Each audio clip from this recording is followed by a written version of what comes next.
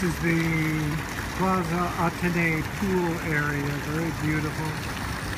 And that's where I'm sitting.